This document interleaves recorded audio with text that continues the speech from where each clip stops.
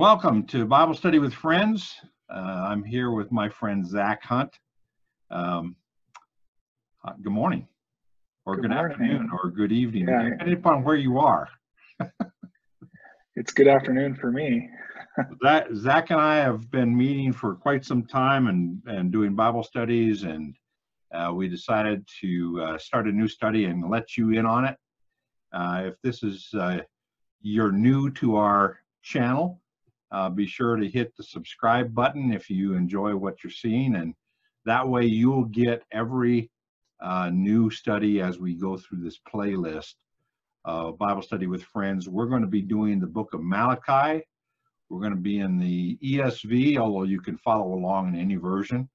Um, and um, Zach and I are going to be sharing, and uh, you get to be a fly on the wall and sit in on our Bible study. So, welcome. Hit the little bell if you want to be uh, receive an email every time we do a new video. Uh, you'll receive an email that way.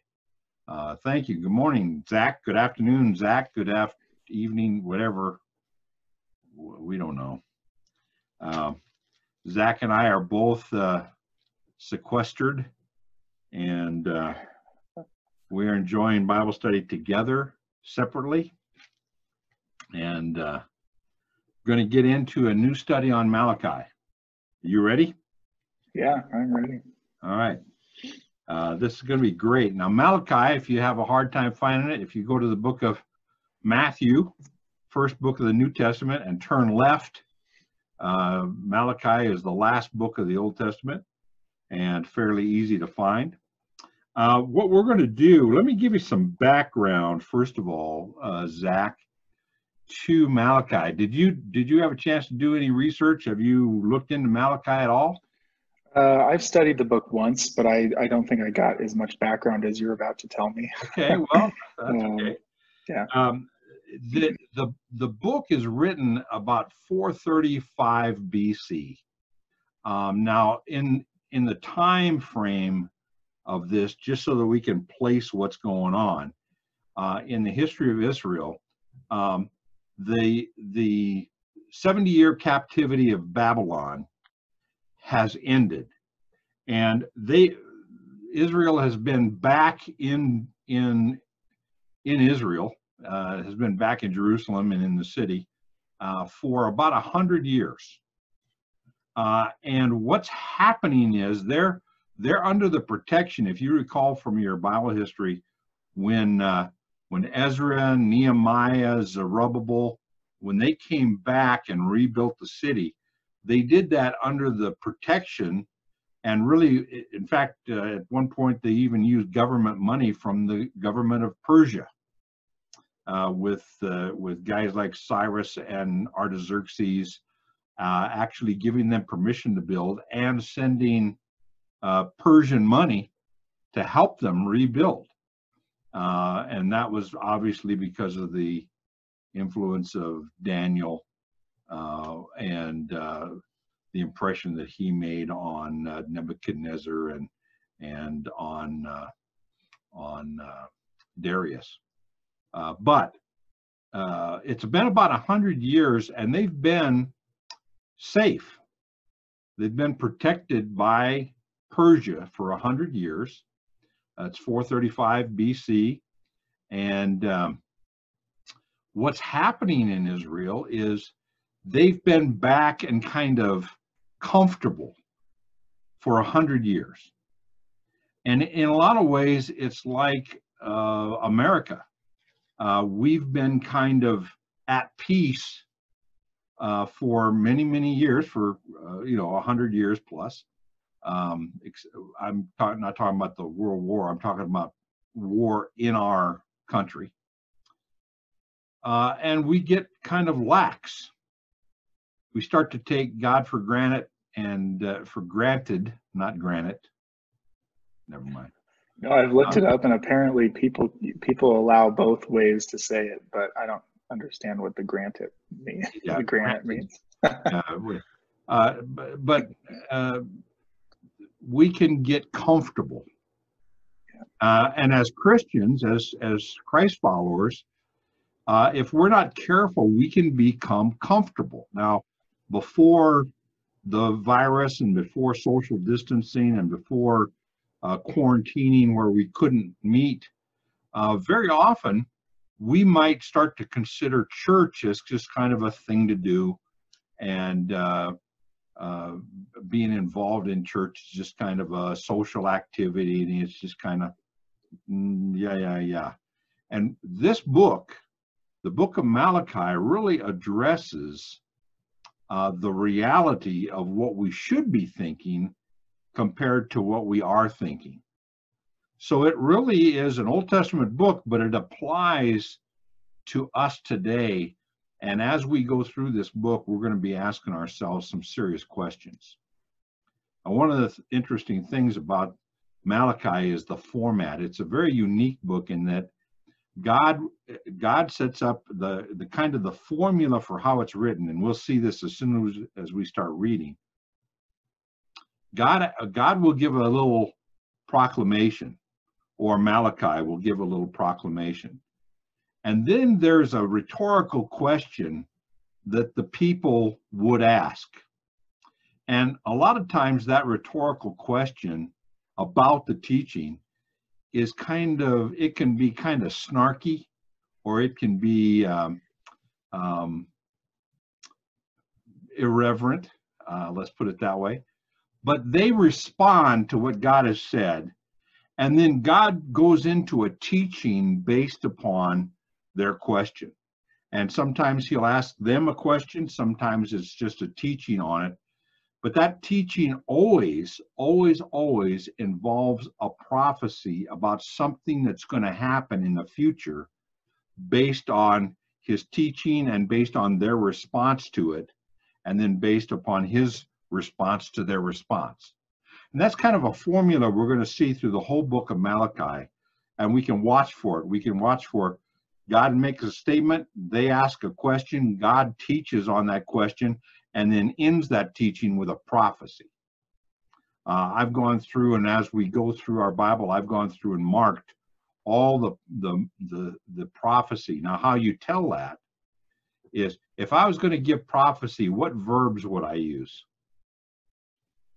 Um, you know, foresee or will happen, something in Will. the future. Yeah. And so we can watch in the book of Malachi for anytime God is speaking and he says, this will happen, that's a prophecy. It's about something that's going to happen in the future.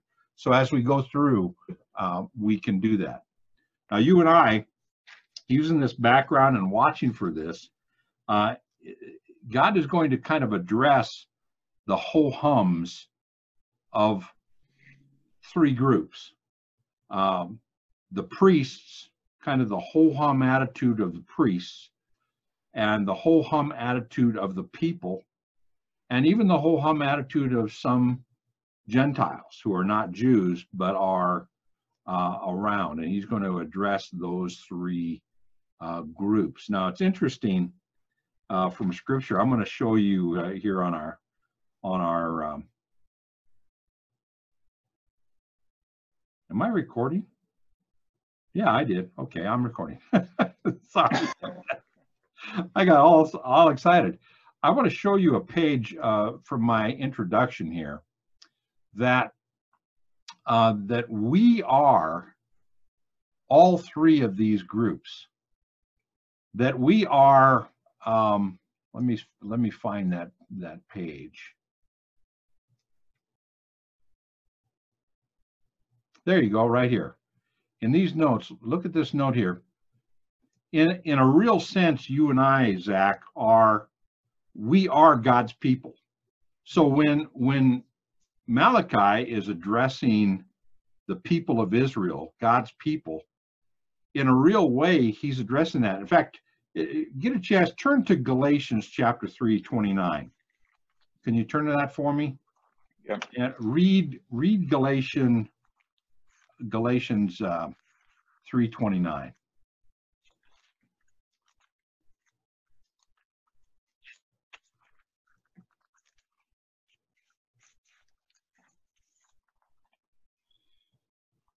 And if you are Christ's, then you are Abraham's offspring, heirs according to promise.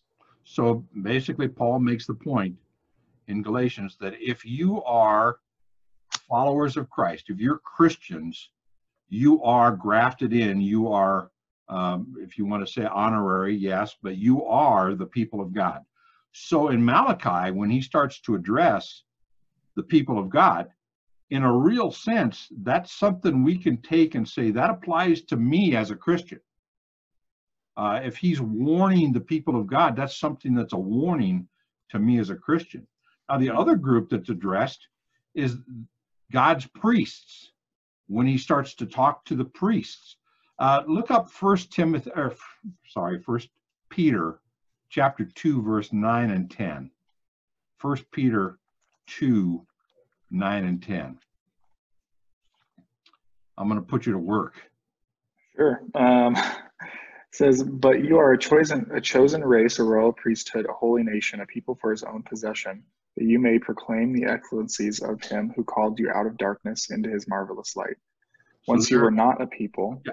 Okay, go ahead. Yeah, once you were not a people, but now you are God's people. Once you had not received mercy, but now you have received mercy. Okay, so he Peter now, the first one was Galatians was from Paul.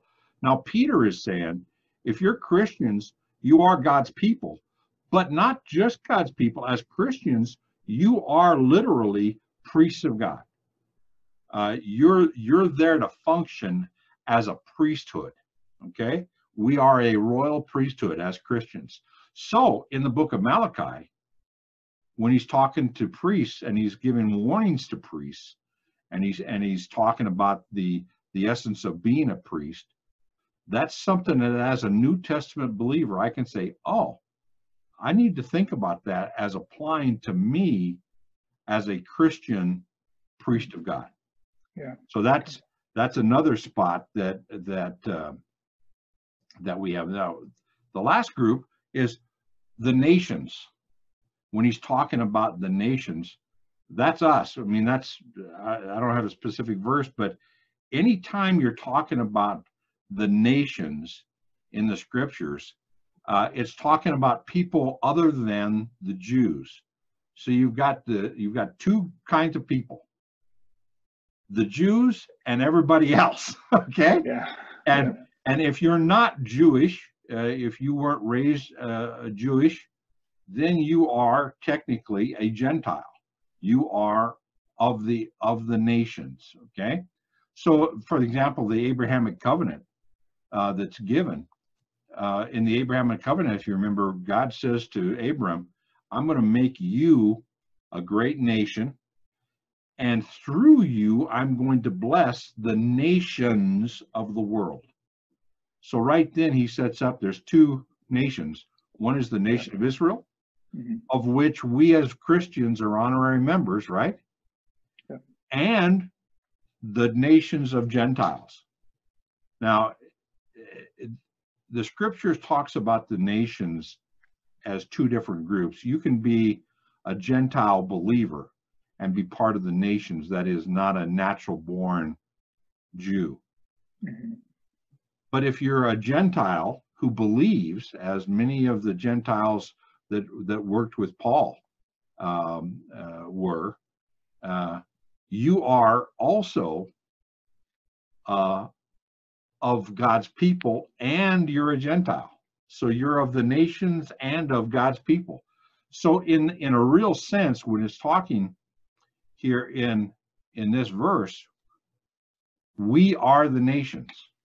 So when there's really no section of Malachi that's not left out where if it's addressing God's people, we are God's people. If it's addressing God's priests, we are God's priests. So it's it's uh, it's moments of teaching that we get here. Now, some other things to notice in in history, Israel went into the Babylonian captivity because of of idolatry.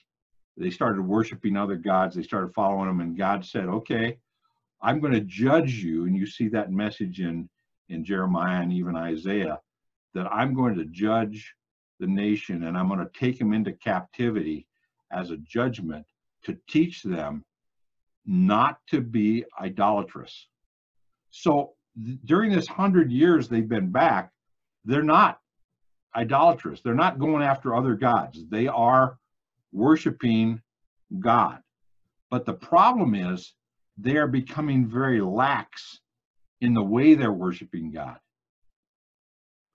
I've given you some verses down here. I'm going to put this in the recording so you've got it in your notes. But the future events of prophecy uh, are the questions about these events and the answers that are prophecy happen in, in chapter 1, verse 2, chapter 1, verse 6 and 7, chapter 2, verse 14 and 17, and chapter 3 in verse 7, 8, and 13. And there's only four chapters, so you'll see that the whole fourth chapter is all prophecy. Uh, but we'll get to that in a minute. Now, a couple of keys uh, before we get into the actual word. Look at Malachi chapter 2, verse 5. There are two key verses in the book that we're going to come across. One key verse is in chapter 2, verse 5. Go ahead and read that. It says, uh, "My covenant with him was one of life and peace, and I gave him, and I gave them to him. It was a covenant of fear, and he feared me. He stood in awe of my name." Okay. Now, that word fear in the Hebrew is not not fright. It's not scared. Fear is reverence. He reverent he revered me and he and he um and I gave him a covenant for the sake of being revered, okay? Being worshiped. Now, that's a key verse because one of the things that that Malachi the book is going to talk about is irreverence. That is the lack of rev- revering God, the lack of fearing God. Okay, uh, that's where we get the term God-fearing people. We're, we're we're not afraid of God, but we revere Him, we worship Him. Now, the other key verse to the whole book of Malachi is chapter three, verse seven. Uh, from the days of your fathers, uh, yeah, from the days of your fathers, you have turned aside from my statutes and have not kept them. Return to me, and I will return to you, says the Lord of hosts. But you say, How shall we return? There's that rhetorical question, and we're going to cover that when we study that deal. But, but here's the reason these are two key verses is first, it sets up the issue of the book is irreverence. And the second, the, the goal of the book is to get people to think about their irreverence and to repent and come back to a reverent attitude towards God. And that's really, in fact, there's a key word that we're going to see the word Lord, which is means the supreme one, the one in control, is used 47 times in four chapters. So you'd say, okay, this is really about the reverent lordship of God in your life.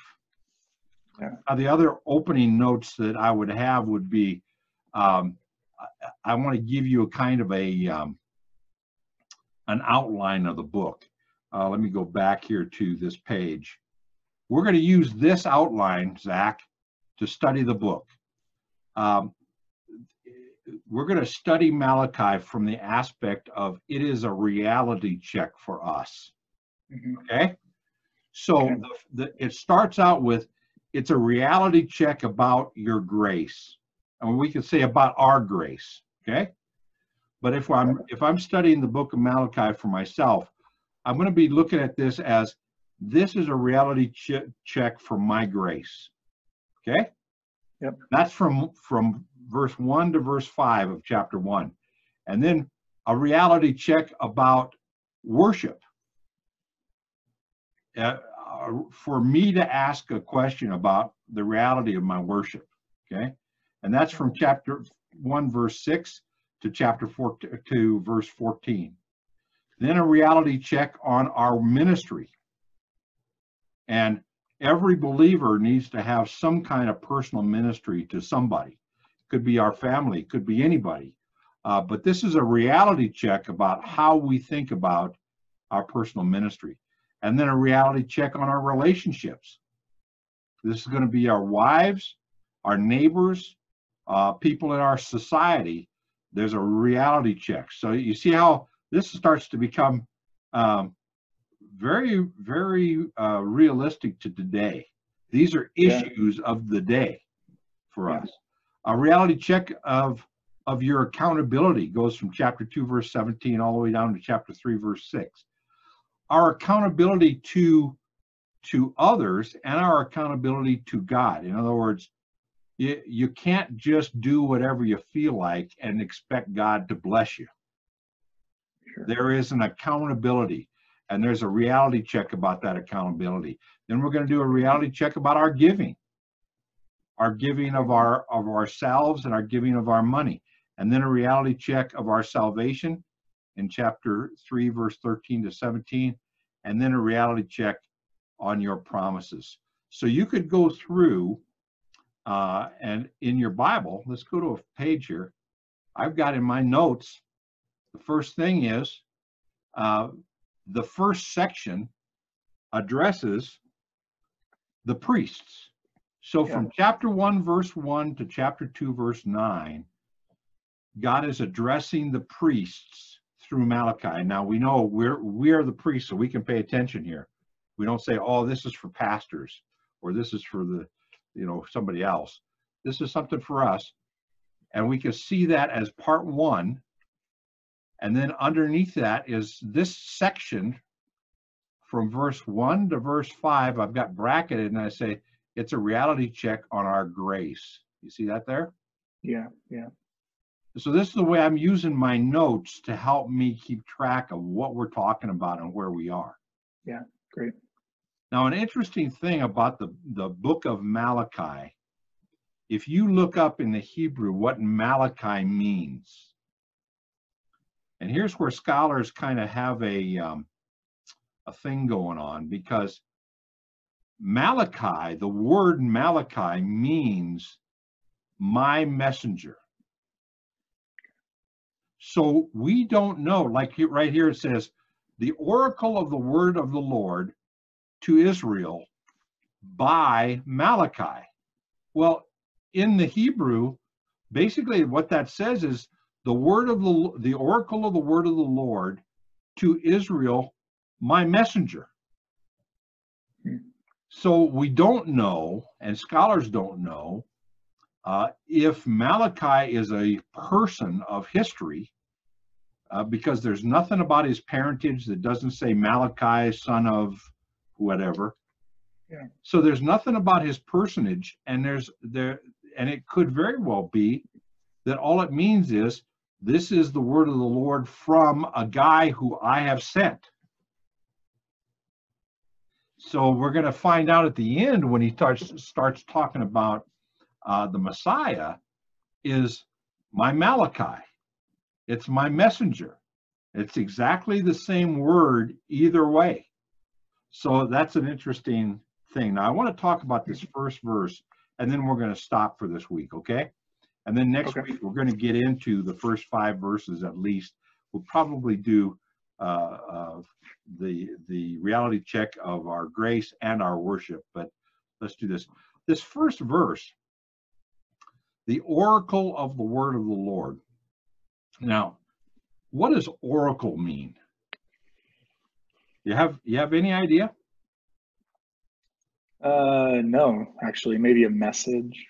Yeah, it, it, you know it's funny as eh, when we're studying the Bible, we need to to stop just reading it and Yeah. start asking ourselves the question of, well, I've read that ver that word a hundred times. What does it mean? Yeah, Uh, Yeah. and and even to the point of, I mean, a good Bible study tool is you get yourself a Webster's dictionary and look up what does oracle mean. sure. Um, Yeah. Now, in the Hebrew, it's interesting, and I've hit it in my notes. This is how I've this is how I remember this.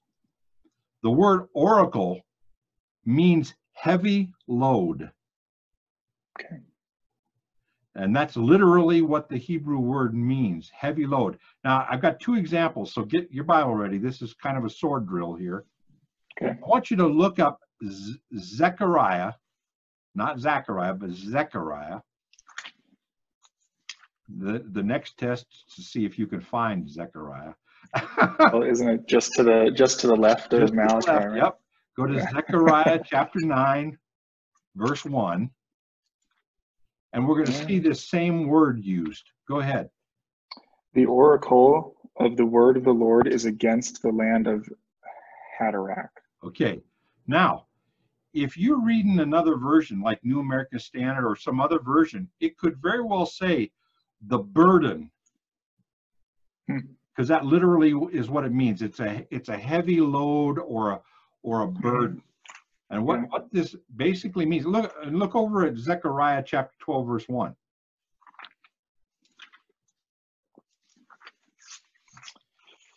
The oracle of the word of the Lord concerning Israel. Okay, so basically, this is God is giving Zechariah a burden to tell Israel a message. Yeah. That's what oracle means. It means somebody has laid on you a burden or a load that you need to share. It's a it's almost like I, I have a compulsion. I've got to share this. God has given it to me, and I've got to share it with you. Yeah, yeah. So the book of Malachi, back to verse one, is literally the burden of, of what what's coming from God. It's a burden of the word of the Lord to Israel. Okay. To us Yeah, as believers. So we could say, oh, if it's to Israel, it's to the Jews, yes, but it's also to Christians because we are the Israel. Okay, we're grafted in. Yep. So we can Yep. say Malachi, God's messenger, is burdened to give what God has got to say to us. And I've made a note here whether it's a, the title of the book or a person doesn't make any difference at all. Whether this is a person named Malachi who's talking to us, or whether it's uh, I've got a heavy load uh, of what God has got to say to Israel, and that that word literally means utterance. So this is I'm, I'm burdened for what the utterance of God. This would be like, for example, I'm doing a Bible study and I see something really cool in the scriptures that blesses me from the word. And I've got a burden. I, I want to call Zach and share it with Zach. Say, hey, Zach, I got an oracle for you uh, from from this verse. And that literally is what I'm saying is I'm I'm burdened to share this with you. Yeah. And so what we see, and then I wanted to show you here in the uh, in the ESV, there's a little there's a little number, and if you go down to the bottom of the page right here, that number says Malachi means my messenger. Yep. So I wasn't lying to you there. See? yeah. Mine says the same thing, so Okay. I believe you. All right. There you go. So you believe me because there's proof. There's written proof. There it is. All right, let's stop here, um, Zach, and uh, we've been we've been talking long enough and uh, and recording this. I wanted to uh, let's go back to uh, to us on screen. Thank you so much for participating in this Bible study. It's going to be a great Bible study. Yeah, I'm looking forward to it. We're going to go through these things and we're going to ask when it talks about a reality check of grace. We're going to say, hey, do I get it? Do I get Yeah. this grace? Do I really understand that? And it's it, point by point, it's something we can check. So Yeah. it's a great Bible study, and I'm excited about sharing it with you and and doing it with you. We're going to pick up next week at uh, we'll we'll pick up at verse two. Okay. Uh, next week, and uh, go right along in a reality check. Okay, my friend. Great. Thanks, Len. Let me uh, let me uh, end this in prayer. Great. Father, I just want to thank you for uh, not only Zach tuning in, but also for uh, anyone anyone who's watching this Bible study. Thank you for that. Uh, thank you that this is a burden from God's Word that we can share with with uh, believers non-believers, Jews, Gentiles. This is a message from you, from your Word, to all of us. And Father, we pray that you bless not only uh, the message we've just talked about, all the introduction, but also bless us as we're going into this Bible study. And we pray these things in Christ's name. Amen. Amen. Okay, I'm going to stop recording. Thank you so much.